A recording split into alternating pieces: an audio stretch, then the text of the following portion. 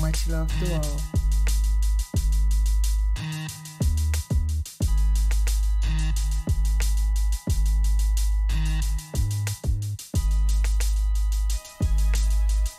Let us look into his background a bit more. Van der Sloot attended the Han University of Applied Sciences in the Netherlands. Joran van der Sloot was born in the Dutch city of Arnhem, one of three sons to Paulus van der Sloot, 1952 to 2010, a lawyer, and Anita van der Sloot Hugen, an art teacher. In 1990, his family moved from Arnhem to Aruba, where he was an honor student at the International School of Aruba.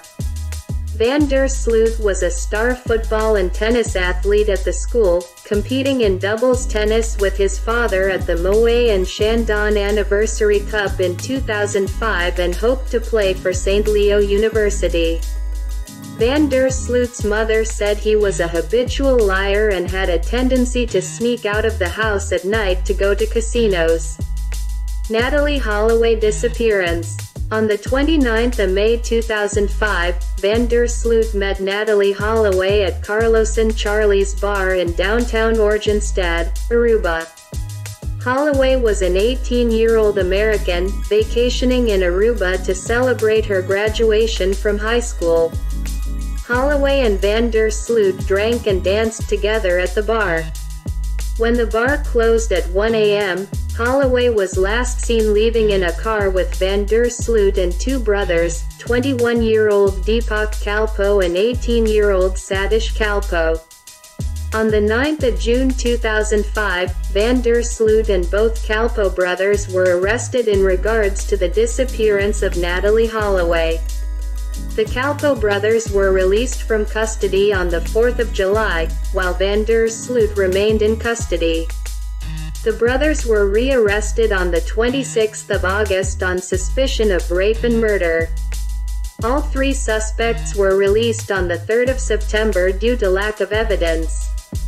After his release, Van der Sloot was required to stay within Dutch territory pending the results of the investigation. On the 5th of September 2005, he returned to the Netherlands to study international business management at the Han University of Applied Sciences. On the 14th of September, a higher court removed the travel restrictions. Gerald G. Dompig, former deputy commissioner of the Aruba Police Force, stated that the initial arrests were made prematurely under pressure from Holloway's family. Dompig charged that the family sidetracked the investigation by making it difficult for the police to collect evidence to solve the case. Media coverage On the 26th of September 2005, Van der Sloot told the American television show A Current Affair that neither he nor the Kalpoe brothers had sex with Holloway, but he admitted that they initially agreed to lie to the authorities. He said that they first told police that Holloway was dropped off alone at her hotel, while he later said that he was dropped off with her at the beach. Van der Sloot stated that he left Holloway alone at the beach at her request and that he regretted it.